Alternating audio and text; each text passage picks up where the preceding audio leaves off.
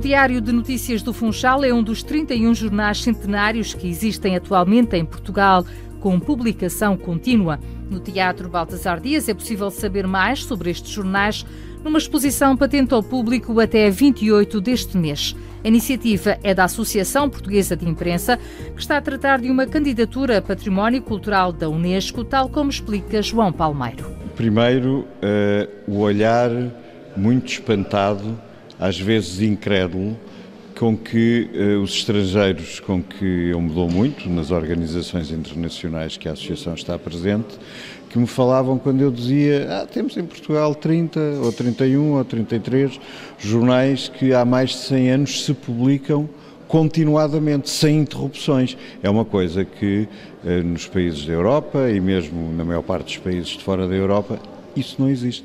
Portanto, existem muitos jornais com mais de 100 anos, eh, como em Portugal existem outros, mas que tiveram ao longo da sua história interrupções por guerras, por uh, colapsos das empresas, por uh, catástrofes naturais até. Agora, ter um acervo como aquele que nós temos e que aqui se pode ver até uh, no quadro que representa o país, que está um bem distribuído pelo país, com uma ou duas exceções, que eh, tem regiões que têm mais do que um jornal, tem cidades que têm mais do que um jornal centenário. Isso começaram a dizer-me, isso é uma coisa que nós nunca ouvimos e nunca vimos. Bom, e então, quando foi o lançamento dos 120 anos eh, do, do jornal de Santarém, eh, que foi já há uns 12 anos ou 11 anos, nós decidimos eh, criar primeiro um grupo de jornais interessados.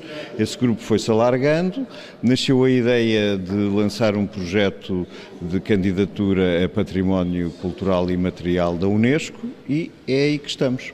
O Presidente da República, o ano passado, eh, no 25 de Abril, condecorou a Associação por esta iniciativa. Estamos na terceira volta, quero eu dizer que sem entrar em muitos pormenores, eh, por duas vezes tentámos eh, soluções que não estavam de acordo com o modelo que a Unesco impõe. Penso que agora, finalmente, encontramos um caminho e que, portanto, durante este ano, que é o ano do património europeu, conseguiremos chegar com o processo até ao fim. Nos Açores resistem quatro jornais centenários, na Madeira, um. É, os Açores são nove ilhas, a Madeira é são duas ilhas, portanto, é, eu acho que esta é a óbvia explicação.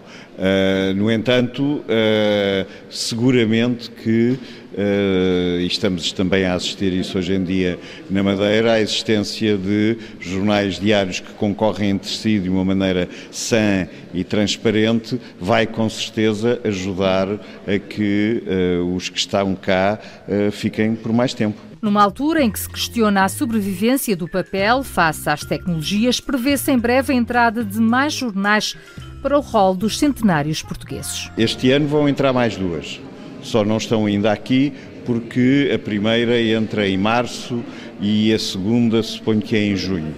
E nos próximos cinco anos temos mais nove que completarão 100 anos. Possivelmente até poderá haver uma ou outra que ela própria não está ainda consciente, já existiu aqui alguns casos em que uh, as próprias publicações não tinham consciência e depois foram ver, uh, sobretudo porque o princípio é tem que estar em publicação contínua, quer dizer, não pode ter tido interrupções ao longo da sua história.